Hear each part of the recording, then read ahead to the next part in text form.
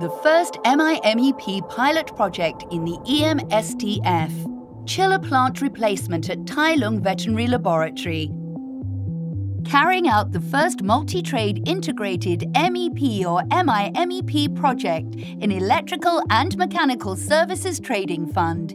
EMSD has recently finished an innovative chiller replacement project at Tai Lung Veterinary Laboratory in the project, four existing air-cooled package-type chillers needed to be replaced by three air-cooled chillers with separate chilled water pumps in two phases at roof level.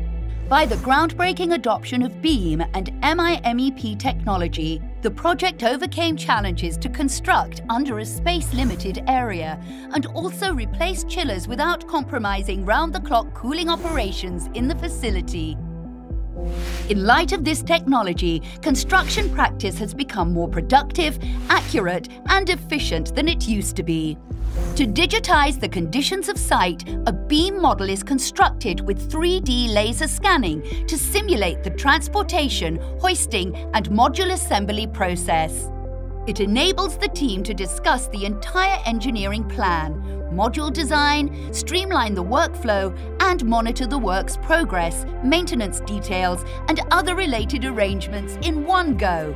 On top of that, further combination of BIM and AR technologies also initiate new possibilities to effectively predict the constraints that may be encountered during the construction and maintenance, and the resolutions of related challenges in advance.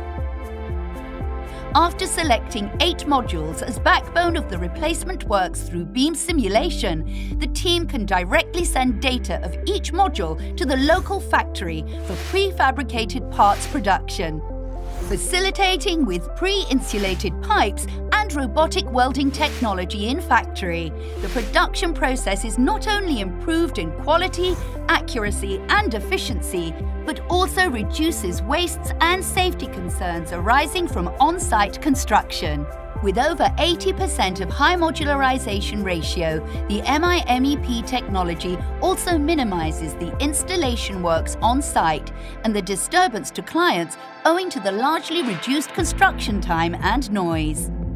The time required for the project is sharply reduced to 38 working days. The project doesn't stop in replacement, but enables transmission of major chiller plant operation data to the Integrated Building Management System for real-time monitoring.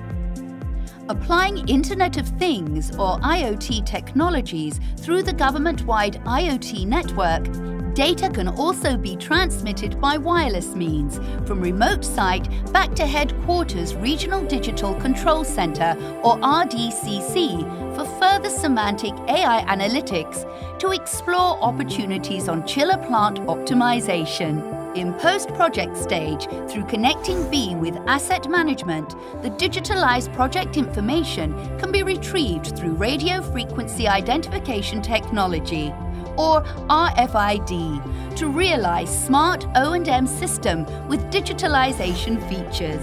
The project proves that the application of MIMEP and other technologies are not limited to new deployment, but also to repair, maintenance, alteration and addition, or RMAA projects with continuing effort by EMSD on promoting wider adoption of MIMEP, this brings solid confidence and lays a concrete foundation for the attempt to adopt MIMEP technology in RMAA projects by EMSD or industry in the future.